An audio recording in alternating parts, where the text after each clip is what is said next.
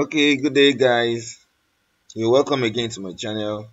I am Joshua the designer and I'm here to give you another cool tutorial on Prota. But this time I'll be showing you something unique and I like that you pay attention. In case you're joining us for the first time on this channel, I would like that you use the subscribe button and like this video, right? And turn on the notification bell so that you can always catch all of our releases first and as soon as we drop them, right? So I want to show you something unique about Prota structure 2021 in this short video, right? So right now you're looking at my screen and you're seeing uh, a structural layout of a particular um, project. So it used to be that in other versions of Prota structure, um, lesser than 2021, 2020, you see that we can only only import um, layouts of single stories at a time. So, but now Prota structure 2021 allows that we import several stories at once, right? So, as you can see on my screen, I have the ground floor layout, I have the first floor layout, I have the roof layout.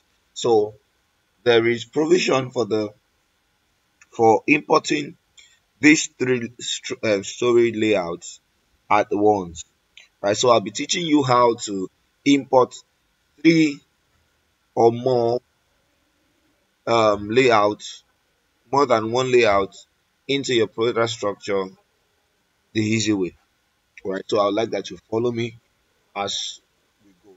So this is a general arrangement that i just prepared and I'll be showing you how to go about it. Now you want to open your Prota structure. Now we are creating a new project. I want to name my project. I have a project template that I would like to use. So I select that. You should understand that if you had gone over uh, our videos on Prota structure. So now that we have this, now, before we proceed on this, you go back to your AutoCAD. Then um, I would like you to do something. It is preferable that you copy this onto a new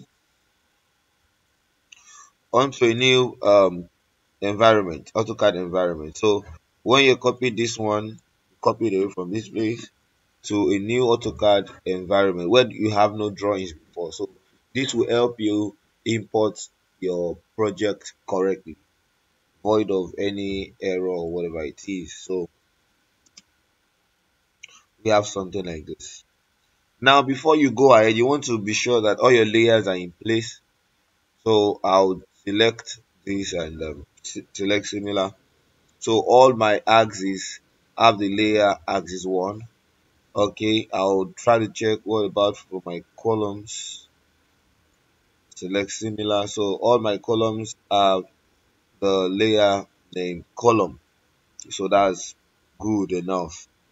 Now having confirmed that you want to save save as and then you save in DXF then we, we use this one.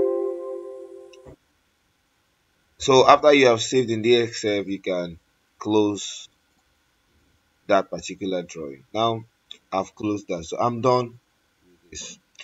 Now back to your Prota structure.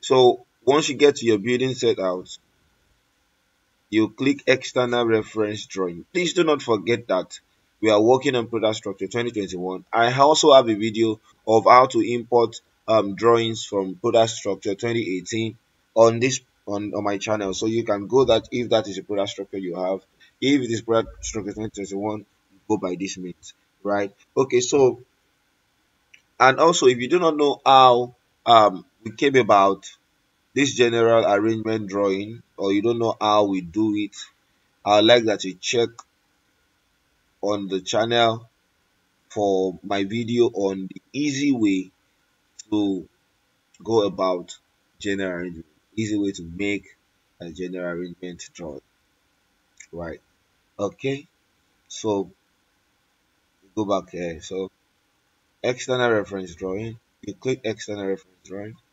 Then you add. You want to add the drawing import. So I, I named it export in DXF. So you select it. Then you open the file. Automatically gets added into this place. So what you do is to select active and um, also 3D. If you like, you may use colors. Then OK. So automatically you have your drawing here. You see, your drawings here. Now, there's a way we can now make because this is just pictures. You can't interact with this drawing. So there's a way we can activate all the elements like the columns, the grid lines, the text and all of that. So you want to click the external reference drawing again. Then um, you would import. You select import. Now we want to import all the elements and with the layers. Pardon me. Pardon me. So for grid, for grid, you'd use axis 1 as we have seen in our layers on AutoCAD. And the text, we use text. Okay. I don't need text.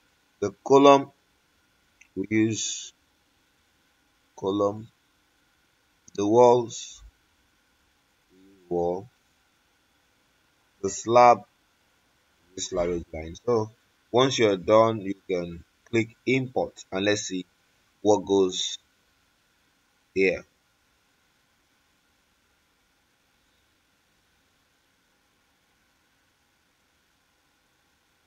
So you can press close once you're done.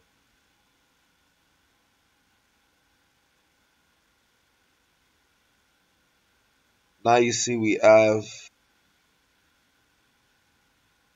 the columns, we have our grid lines just as it was on the AutoCAD. So we have everything in place now. So even for all the stories at once, you see, for all the stories at once. But then I will now teach you how you can interact with all these stories one after the other as it fits your drawings right? So because we can't work on the same story for all these um all this layout at the same time. So you have to work on individual story as as it is. For example we'll be having story o for this one. This is the ground floor story o. We're having story 01 for this one, and we'll be having story 02 for this one. Right, so I'll be teaching you that in my next tutorial video, and I would like that you hang around, right? So, thank you for staying around. You can use the like button, and I encourage that you also use the subscribe button.